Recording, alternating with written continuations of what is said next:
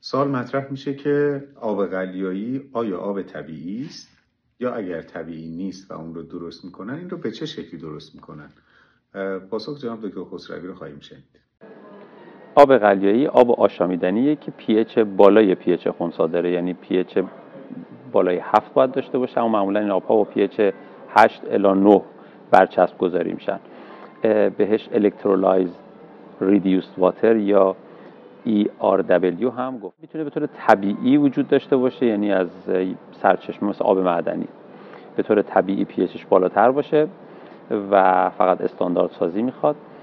به لحاظ پی می‌تونه تنظیم شده با املاح باشه با املاح کلسیوم منیزیم یا آنیون های مثل کربونات پی تنظیم شده باشه و حالا رایج ترین راه تولید این آبهای قلیایی بر اساس همون اسمی که خدمتون گفتم روش الکترولیزه که در روش الکترولیز هیدروژن از اوهاش جدا میشه. اوهاش به صورت فاز قلیایی باقی میمونه. بخش هیدروژن رو به صورت هاش دو در میارن که با این مولکول H2 یا مولکول هیدروژن بعدا کار داریم.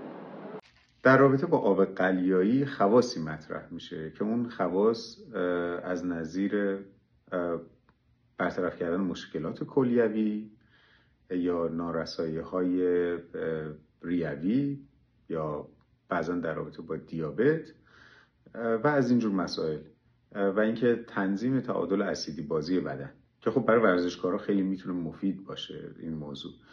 می‌خوایم ببینیم در رابطه با این ادعاها جناب دکتر خسروی چه پاسخی خواهند داد؟ زمانی که املاح به آب اضافه میشه خب یه سری ادعاها روی اون املاح می‌تونه وجود داشته باشه.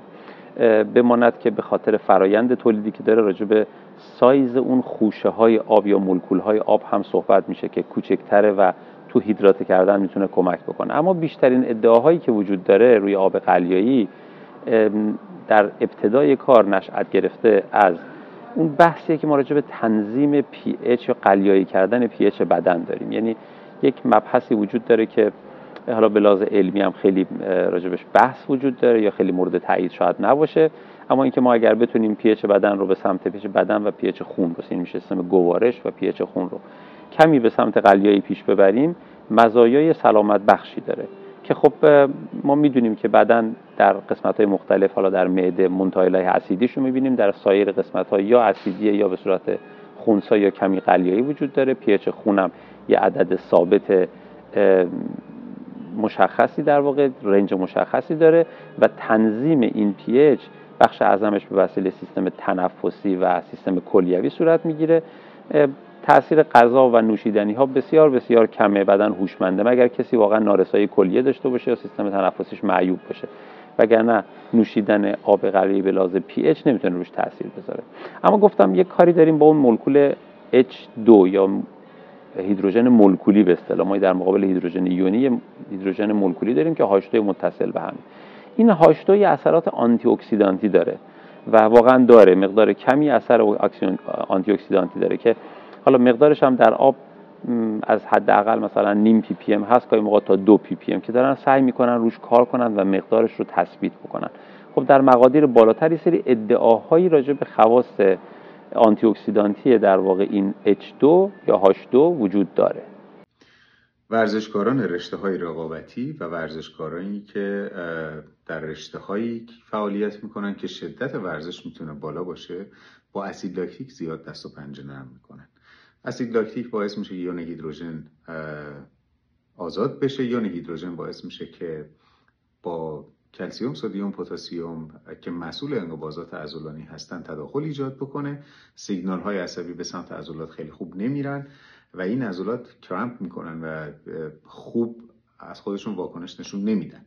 اصطلاحش اینه که بدنم دیگه جواب نمیده. این مایچه گرفته دیگه لاکتیکی شده دیگه جواب نمیده.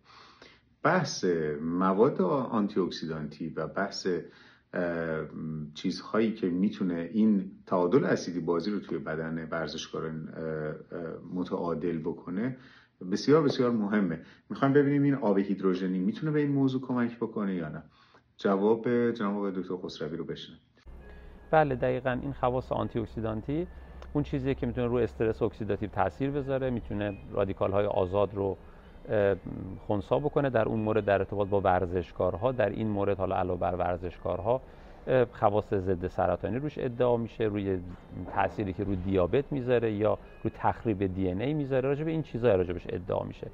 اما خب ما می‌دونیم که اولا قدرت آنتی اکسیدانتی هاش دو اینقدر بالا نیست. دوم که یک گازه که در دماهای مختلف حلالیت متفاوتی داره و می‌تونه از بطری خارج بشه. اینکه من چقدر از بطری استفاده کردم چه مدت اصلا از تولیدش میگذره.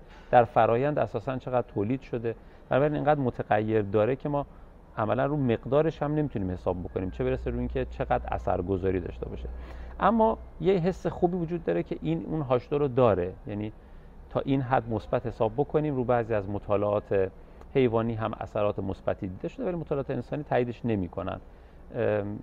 این خواص آنتی اکسیدانتی شو پس اون بحث پی رو داریم بحث خواص آنتی اکسیدانتی داریم. یک بحث دیگه هم گفتم ما تو تنظیم املا هم بعضی موقع برای تنظیم پی استفاده می‌کنیم شبیه به آب معدنی که خود این شبیه یک الکترولیت عمل می‌کنه برای هیدراته کردن بدن ورزشکار. پس این ادعاهایی که وجود داره بیشتر ناشی از این چند مورده. ولی اون مورد پی اچ خب اصلا ارتباطی با مطالب و یا مسائل علمی واقعا نداره. می‌خوایم ببینیم این آبخای هیدروژنی محدودیت مصرف داره منع مصرفی داره. آیا اصلا ما می‌تونیم این رو به صورت همیشگی وارد چرخه سیستم غذاییمون بکنیم و همیشه ازش استفاده بکنیم؟ پاسخ جناب دکتر خسروی رو به این سوال بشنوید.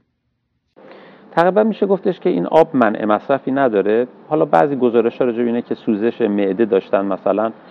با این آب احساس بهتری داشتن. ولی خب می‌دونیم کسی که سوزش معده داره ریفلاکس داره باید بره درمان کنه. با یه مقدار آب قلیه مصرف کردن به صورت موقت یک التیام گرفتن خیلی راه منطقی نیست. پس بنابراین روی این قسمت هم نمیشه حساب کرد. اما با این حال به دلیل اون قلیایی بودن و اینکه ما پی اچ معده برامون خیلی مهمه در سیستم گوارش توی سیستم هضم. حتی روی داروها یعنی اثر بخشی خیلی از داروها تنظیمش اون کپسول هایی که در نظر گرفته شده که توی اسید معده مثلا باید اون حل شدنشون اتفاق بیفته یعنی نقطه اثرگذاری زمان اثرگذاریشون تنظیم شده. روی داروها رو مواد غذایی و غیره مصرف بیش از حد یه محصولات قلیایی مثل این ممکنه مشکل ساز هم بتونه بشه. من فکر می‌کنم فکر می‌کنم که این آب با توجه به کنترل هایی که داره روش میشه در زمان تولید رسیدگی هایی که میشه رو کیفیت به عنوان یک آب لوکستر و لاکچری تر محسوب میشه. من به شخصه فکر می‌کنم می‌تونه بخشی از مصرف روزانه ما قرار بگیره. مثلا فرض کنید قرار ما دو لیتر در روز آب مصرف بکنیم شاید نیم لیترش می‌تونه از این باشه مثل یک چیزی که در کنار محصول جالبی که در کنار محصولات دیگه است. ولی انتظار خواص عجیب غریب نداشته باشه فقط بدونیم به این آب رسیدگی خاص شده به خاطر لوکس بودنش توجه ویژه شده و می‌تونه ازش استفاده بشه. جالبه. بعدها ممکنه در واقع نتایج بهتری هم ازش در بعضی از موارد دیده بشه. در حال حاضر فعلا تو این نقطه قرار داریم که می‌تونیم بگیم خوبه و قابل استفاده است. به جز اون تداخل با یا نامناسب بودن برای استفاده بعضی از داروها مثلا.